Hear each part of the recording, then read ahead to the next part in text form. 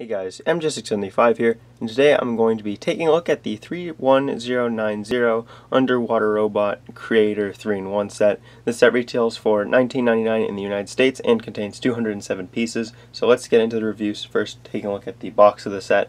So this is the box, the main model is right here, and you have your two other models right here which if they include instructions I'll be taking a look at all the models that you can build from this set. Taking a look at the top of the box you can see the pictures of the models again and then a picture of a piece here and it's kind of interesting because the underwater robot is giving a thumbs up in this picture so, the, so that's kind of neat. Here at the bottom we have pretty standard stuff, nothing really out of the ordinary there. Again on the side very similar, nothing out of the ordinary here either. And then on the other side we do have the name of the set translated into some other languages, you know, warnings, I think there's one on the side, but components being made and distribution information, so right there, and another picture of the set right there. Then if we were to take a look at the back of this box, you can see all the models kind of in a bit more detail, doing some different tasks and stuff like that, and the tape, which is responsible for keeping the box closed. So that has been a look at the box of this set. So I do not have any problems with the box. I think that it is a fine box. So now I'm going to open this set. Included in the set is the box, three instruction manuals, one for each model, and three unnumbered bags of pieces here.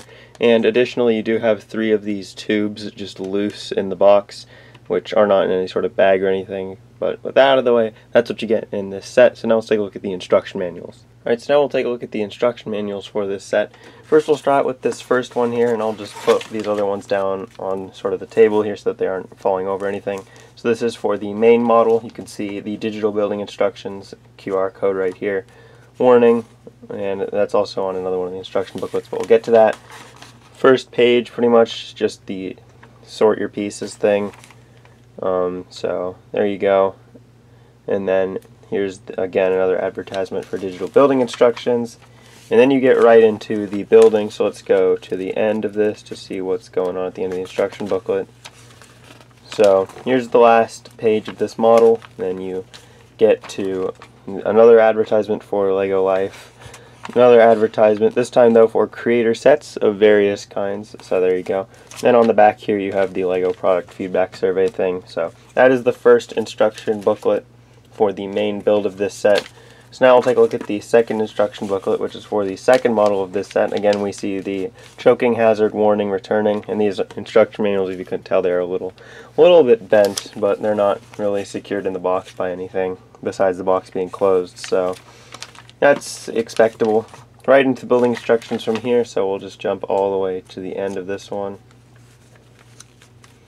Right, so you have another LEGO Life ad, the same creator ad. These are just the same two ads that are on the other booklet.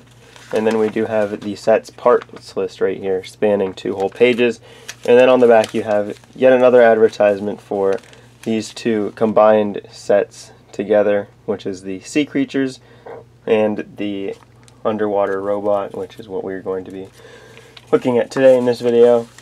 And then the last of the three instruction manuals is for this little thing here.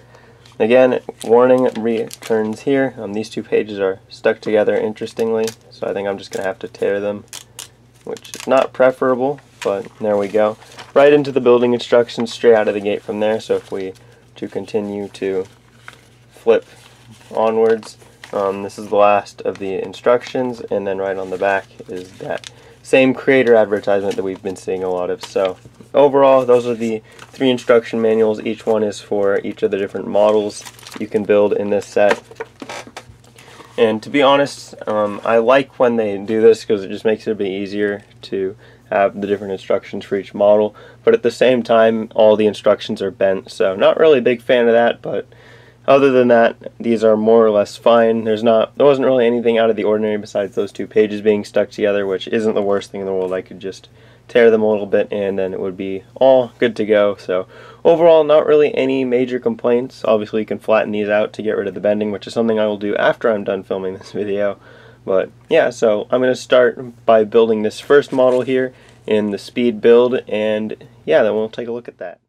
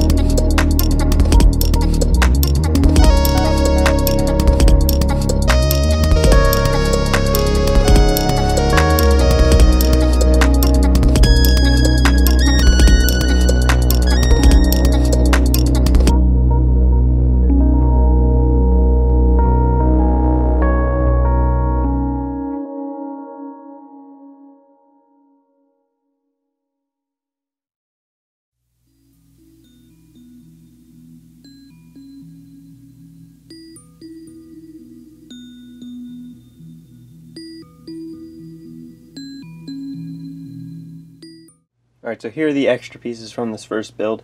You get an extra one of these large tube pieces, but you also do get all of these other pieces here. Um, the ones that stand out to me are just this large tube, this sort of horn or drill piece, and this stud with a hole in it, as well as this black spike. But overall, not a bad selection here. As far as the building experience went, it was pretty simple, and I didn't really struggle with finding any pieces or anything like that. So now let's take a look at the first build from this set. Alright, so this particular build has two smaller builds which we'll be taking a look at first. First you do get this little plant or seaweed with some gold next to it and you also do get this manta ray um, which you can angle sort of the flaps on the manta ray if you really want to. I just like to keep them down at the side. You can also angle the tail. The tail has two points of articulation, one at the, where it meets the body and one where it meets sort of the spike end. And overall, I think that the Manta Ray and this little build, while well, this one's not much, I think it's well done. And the Manta Ray I do like quite a lot because it's nice, simple, and it gets the image of a manta ray across quite nicely. So now let's take a look at the main build from this particular build, which as you can see is this giant little underwater robot thing. So we'll be taking a look at this. As far as the different angles go, here is the robot from a bunch of different angles so that you can really see what's going on here with this robot. So as far as play features are concerned, you do have posable limbs, and we'll start with the legs. The legs have two points of articulation, one where the legs meet the body, and one where the leg meets the foot. So you can rotate, no, we're not, we're not looking at that yet, but you can rotate these out like this. You can also rotate them this way as well and as far as the ankle you can rotate it up around as well and you can rotate it up and down. So that works on both of these legs so you can get a few different interesting poses out of this guy. You can do all sorts of crazy stuff like something like this even works. So so so far it seems to be good for balance and posing. Um, but we'll move on to the rest of what's going on here um, moving up the body a little bit, if I tilt it like this, you can see that we also have another point of rotation here at the center of the body, which is nice so that you can rotate this guy around to get whatever he needs to accomplish done. So that's pretty neat. Um, before we touch really the top head part, I'm going to take a look at his arms. Both of these arms have two points of articulation again, where the arm meets the body and where the arm meets whatever hand you have. Um, the hands are both connected with ball joints, but these are connected with just these ratcheting joints. Um, this is just a standard sort of hand. That's really all it does. You can move each of the fingers in to grab stuff. Um, just don't move them in too much or you'll pop off the fingers, at least on the two front fingers. Um, so just be careful about that, but you can you can grab things like if you have the extra one of this tube handy, which does come in the set. I'm assuming for another build, but you do have another one of these so you can hold on to that and it works quite nicely. So now he has a little staff or something. So that's pretty neat. Overall, that's that's pretty nice. You also do have this other hand which has a drill in the middle here, presumably for maybe getting some gold off this thing. And it also does have some claws so that you can grab stuff like that. And on the box, and really, in mainly just the box, but it kind of shows you being able to grab it, grab these gold pieces, just kind of like this, just getting four points of contact around there. And as you can see, you can do that. Um, I'm not sure how well it'll work when we try to ratchet this joint. Uh, it might fall off. Yep. There you go. Not not the best hold as you can see, but you can probably pose it to the point where it would hold this in place if you didn't move it. So again, that's pretty cool. Um, I do like that feature. And kind of the last main thing from a feature perspective. Oh, there we go again. So, yeah, not not the best hold as you can see on that, but anyway, really the last thing from a main feature perspective, um, besides these tanks, which you can you can kind of move, but that's not really that much of a feature, is sort of the main sort of upper head portion. We have a clear sort of dome that comes over here, and we can just lift that up. It's on ratcheting joints. In here you can get access to kind of the head of the robot which can move up and down independently but if you want to take this out um, something interesting is that there's actually a 2x2 space in there with kind of a backrest and I'm pretty sure you guys know what this means is that I'm going to go totally not reach over into my minifigure drawer and grab a clone trooper and seat him down in there to see if you can fit a minifigure in this little spot. And doesn't look like you really can, unfortunately. You'd probably have to lower this down a bit more and put a four long axle with stop in there um, because it has a five long axle in the set the way it comes. But, you know, it, it was a cool little thought. Um, I don't know if that was intentional or not, but yeah, so you can almost see a figure in there. I'm sure that if you had maybe a shorter figure, then it would work. But yeah, so that's it for this build. Overall, as far as this build is concerned, um, I really don't have that many problems with it. The ratcheting joints are kind of a little bit annoying on all the limbs, and I would have preferred to see ball joints where possible, like where the legs meet down here to the feet. That would have been cool to see. Also, it would have been nice to get a bit of a better grip for various things on this arm.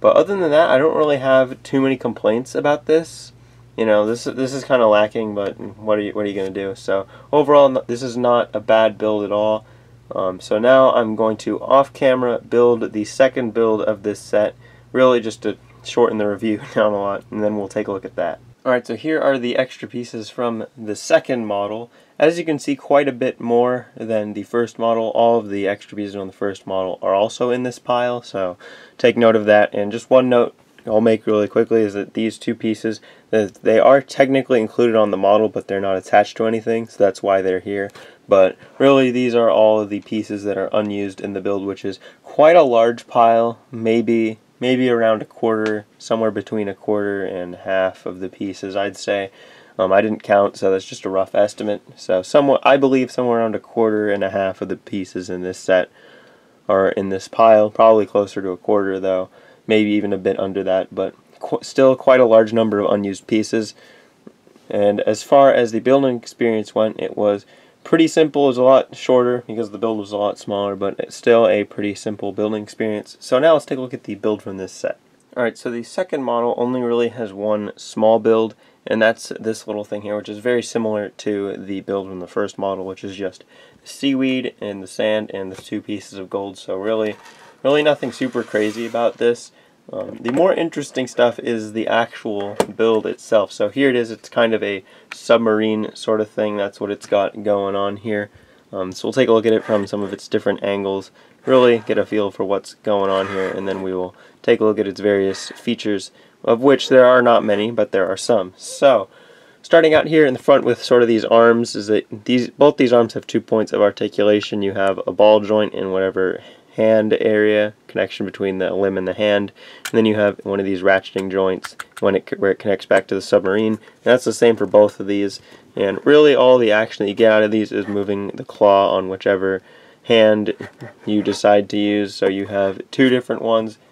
And I'm assuming that you're supposed to do kind of a similar thing here, but really it's just not as, as easy to really grab anything um, just due to there only being two points of articulation or really two points of pressure that you can apply most of the time. If you try to grab something it will just move out of your reach. Even if you do it slowly as you can see here it just gets pushed away and you know there's just a farther distance to do it here and just even less room. So yeah not really great for picking stuff up either um, as far as the other stuff goes, um, kind of unintentional I believe is that you can rotate the sort of engine in the back just because of how they built it, but you know, that's interesting, but I don't necessarily believe that was an intentional feature.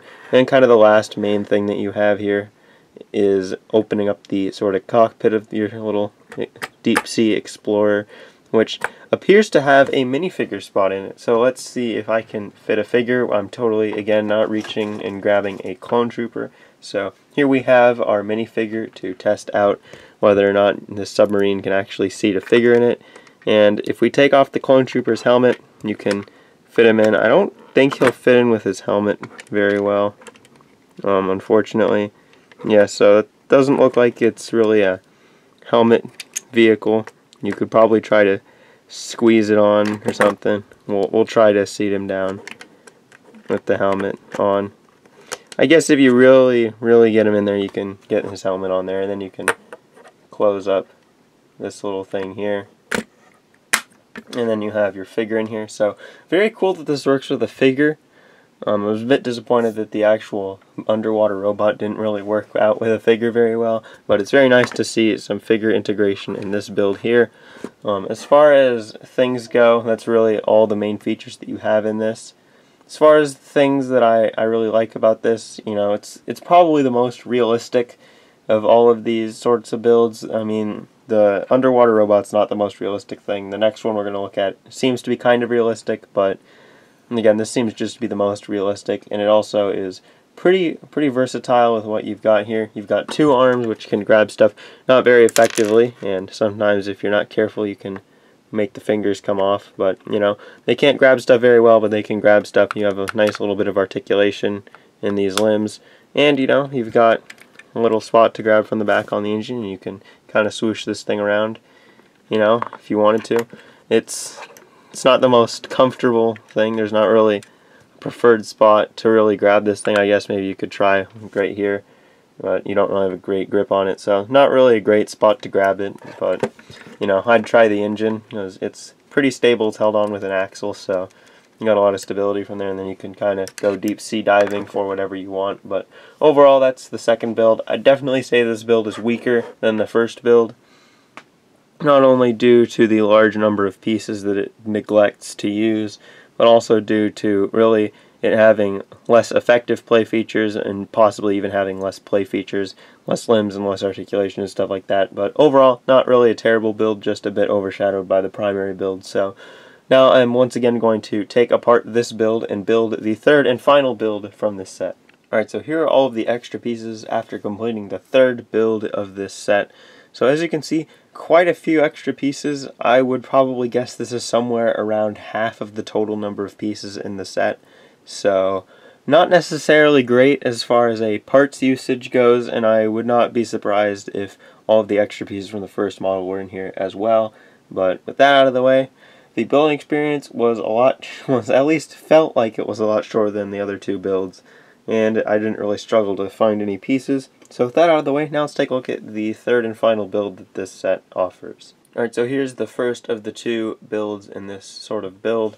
This is the smaller one. As you can see, it's kind of just like some sort of rock thing with some gold pieces on it. Not really anything super crazy, but it's kind of nice to get a break from all the sand and seaweed that we've gotten with these gold pieces in the other two builds. Um, but as far as the main build goes from this one, here you go. This is what you were going to build if you decide to build the third build. So let's just take a look at it from some different angles real quick and then we'll take a look at this build itself and see what it has to offer from really a play perspective.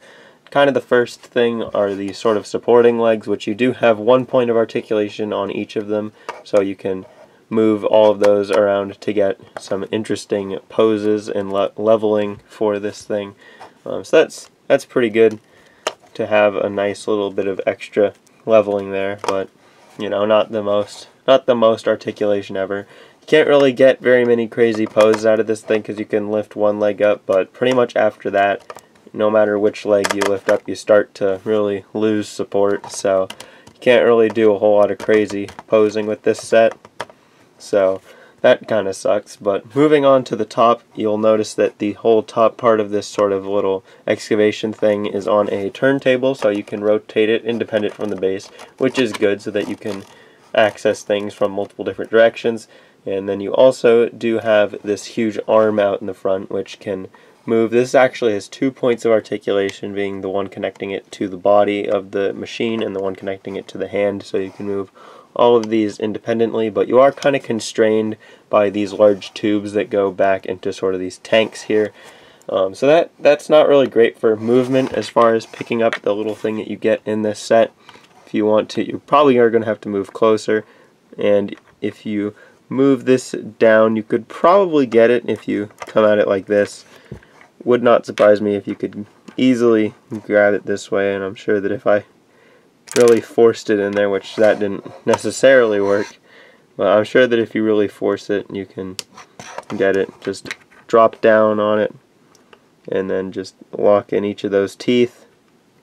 Everything's nice and secure and lift up again. And there you go. You can pick up that little thing, which is actually nice. And this is a bit better picking up stuff than the second build, which I like because that's kind of one of the main main features of all of the builds in this set, or at least supposed to be.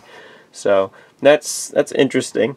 And then kind of the last main thing that you have here are these lights. Um, they move up and down pretty simple. And right below them you have probably one of the bigger things that this allows you to do is you can see a figure in there theoretically. So here we have our clone trooper and we're going to just try to seat him down in here.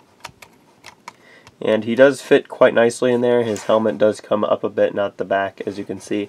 But you can have your clone trooper controlling this underwater excavation thing, or whatever figure you choose. So there you go. Um, obviously, clone trooper not included in this set. This set does not have any minifigures. So that is pretty much the entire set, all three builds that you can make with this thing. And really, um, I think that as far as all these builds go, the first one is definitely the strongest. This is probably the weakest of the three, which is the third build, so it kind of makes sense. And the second build is probably the middle middle tier of all of these sorts of builds. But definitely, um, I would recommend building the first build if you can only build one of these. But you know, maybe check out these other ones if you're interested. As far as value goes, this is a 207 piece set which retails for $20 in the United States. You do have a few large pieces in here too. You don't have a figure, so I'd say that for 20 bucks this is a fair price. And what you get here is definitely probably worth it. You do have this nice clear dome piece, and you do get three of those large tubes as well as a bunch of other smaller pieces which are a bit more specialized and some medium-sized pieces too. So as far as value for money goes, this is not a bad offering. And overall, uh, not not really a bad set. Kind of one of the things that all the Creator 3-in-1 sets suffer from, in my opinion, at least some of the more recent ones, is that you have the first build, which uses pretty much all the pieces and is a really good build, and then you kind of have this drop in quality of the builds for the other two builds, which you know it's nice that they give you two more builds, but they're they they're just so so much less in quality compared to the first one that it's like I don't even know sometimes why you'd build some of these. But it, it you know it's the thought that counts, and I'm sure that if you just have these pieces, and, and you can probably build something using all of them that might even be better than the other two builds, which I'm sure is why they throw in these two extra builds is to really get the noggin jogging to make something creative up with all these pieces that you've got here. But obviously, if you have a bunch of other Lego, you can add some stuff from your collection in to really supplement that. But this is a nice little starting place to build some underwater sort of mechs and maybe some submarines and stuff like that. So overall, um, as far as this set is concerned, not a bad set in my opinion. First build definitely does take the cake out of all of these and is actually pretty decent. Doesn't have much of of a play feature though, besides articulation, which is kind of kind of meh. But it it's just such a better build compared to both these other two last builds that it's really the only thing the set's got going for it. So really not a bad set. Definitely I do like the underwater robot, but this set doesn't really stand out to me in any particular way. It's a nice little concept to have an underwater robot, and I definitely like the first build in this set and what they did with that, but Really, the other two builds in the set don't stand out much at all, and really the only one that I see any purpose in building.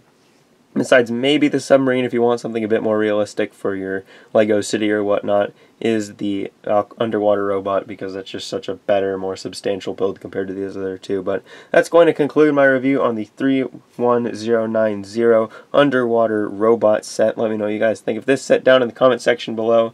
Do you have this set? Do you agree with my sort of ranking of these builds? Anything at all, let me know in the comment section down below. And I'll see you guys in the next video. Goodbye.